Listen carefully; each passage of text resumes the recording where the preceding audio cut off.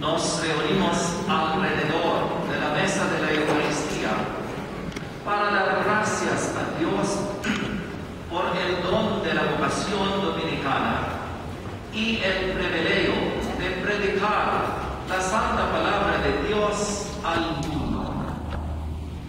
También damos gracias a Dios por las personas que nos inspiraron y ayudaron en nuestro ministerio de predicación de varias maneras. Agradecemos a Jesús que nos envía a predicar el Evangelio a todos. Estoy agradecido por estar aquí en México, por pasar el primer día de octubre, el mes del Rosario, en el santuario de Nuestra Señora de Guadalupe. Vengo de Filipinas, un país confiado a su patrocinio, porque la diócesis de Manila se convirtió en sufragánea de la Arquidiócesis de México en 1595. El, el cristianismo llegó a Filipinas desde España a través de México. Ellos dicen que mi rostro es peruano.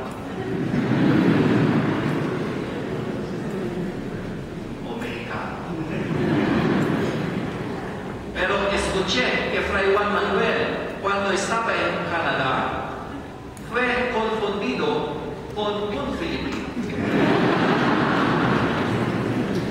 Eso significa, eso significa que nuestros rostros son universales.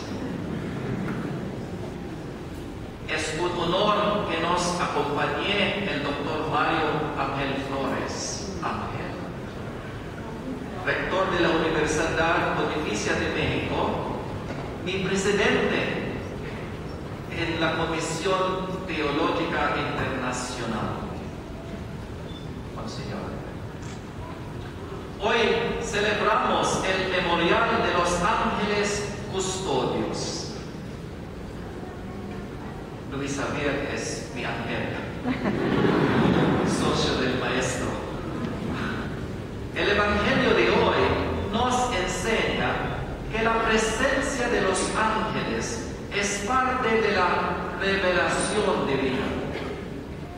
El Papa Gregorio dijo, hay que saber que el nombre de ángel designa la función, no el ser del que lo lleva. En efecto, aquellos santos espíritus de la patria celestial son siempre espíritus, pero no siempre pueden ser llamados ángeles, ya que solamente lo son cuando ejercen su oficio de mensajeros.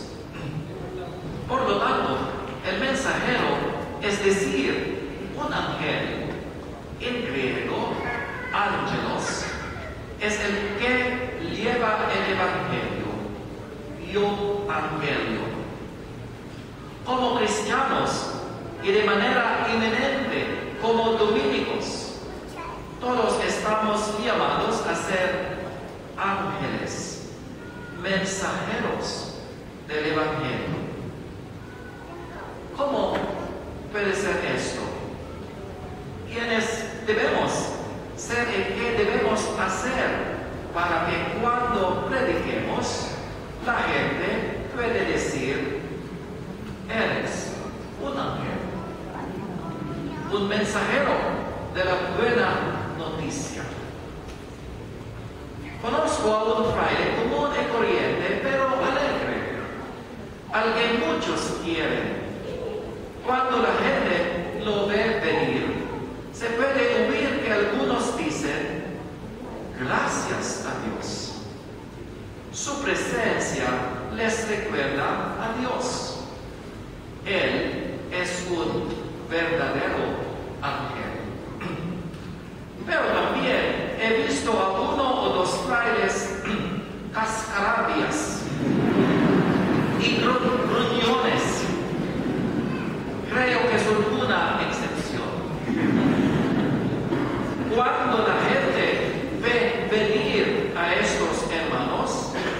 casi se les oye decir, Dios mío, ven en mi auxilio.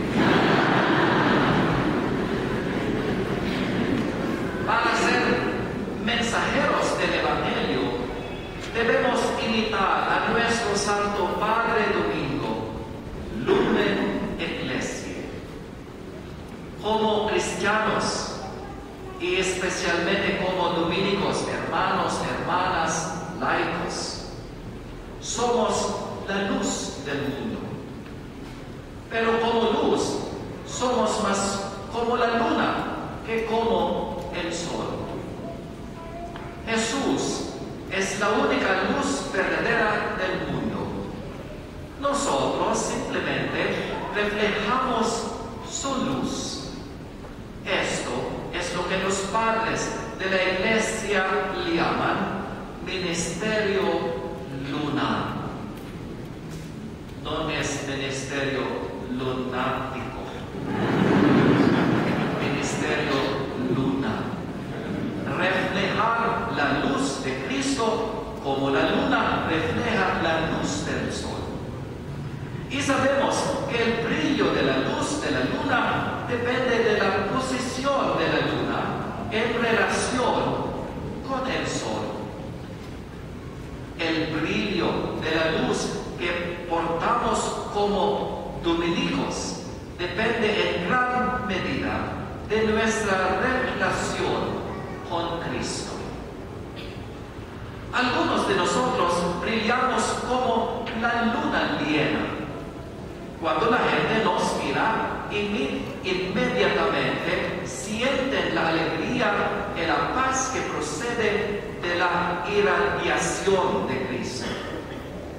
Dicen que el que está enamorado, enamorado, brilla y resplandece. Un dominico enamorado de Dios y que está en paz consigo mismo y con los demás, resplandece y brilla de manera inminente. Se los puede ubicar fácilmente, incluso cuando están en un rincón oscuro de la habitación, porque brillan, resplandecen, incluso en la oscuridad. They glow in the dark. Sin embargo, algunos de nosotros estamos en una fase lunar menguante, que apenas brilla casi escondida de Cristo. Cuando ves a un dominico que está sumido en la oscuridad, que está malhumorado e enfadado, cuya mera presencia le roba la energía. Ese hermano o hermana podría estar sufriendo un eclipse lunar. Nuestra atención fraterna urgente, porque la luz que viene de Cristo está totalmente bloqueada por algo que se interpone entre Él y Cristo. Somos la luz del mundo, nos lo asegura Jesús. Pero ¿qué clase de luz somos? ¿Luna llena? ¿Luna menguante? ¿O un eclipse lunar? Predicar a Cristo de palabra y de obra es un ministerio lunar. Domingo es luz de la iglesia. Domingo no se guardó la chispa de la inspiración divina, sino que fundó una orden de predicadores, un orden de hombres y mujeres dedicados al estudio de la verdad, a la predicación de la gracia en la construcción de comunidades, especialmente de la iglesia. Una de las preguntas que me intrigaba desde que era novicio era, ha recogido, no se ha recogido ningún sermón o homilía del fundador de la orden de predicadores. Es gran secreto. No fue por falta de material de escritura, porque aún hoy podemos leer las bellas homilías de San Agustín que vivió siglos antes. Sin embargo, todo lo que tenemos son tres cartas breves escritas por Domingo. Una fue dirigida a las monjas, dos más son relativas a conversiones de herejía. Creo que ha de haber una buena razón para que no se haya recogido ninguna homilía de domingo. Os invito a usar vuestra imaginación y a suponer que tal ausencia tiene por objeto resaltar al misterio de que para domingo su sermón perdurable es la orden que él fundó. No llamó a los primeros conventos casas para predicadores, sino la santa predicación misma. Todos somos la homilía de Santo Domingo en nuestro mundo de hoy. Somos parte del texto en constante expansión de su sermón. La palabra texto proviene del latín texere, que significa tejer el texto del sermón de domingo es un entretejido de la vida y el testimonio de aquellos que están cautivados por su espíritu, por su pasión por la verdad, y su compasión por la humanidad. Si podemos imaginar que somos parte de la predicación de domingo, os invito a considerar ¿Dónde estáis en el texto de la homilía de Santo Domingo? ¿Estás justo en medio del texto, en grandes letras negras? ¿Eres una aburrida e insignificante nota pie de página al final del folio?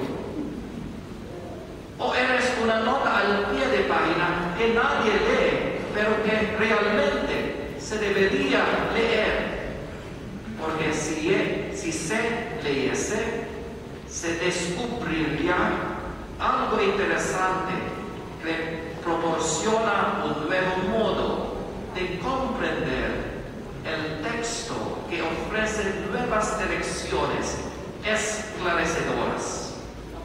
O eres una nota al margen que reflexiona o crítica el texto.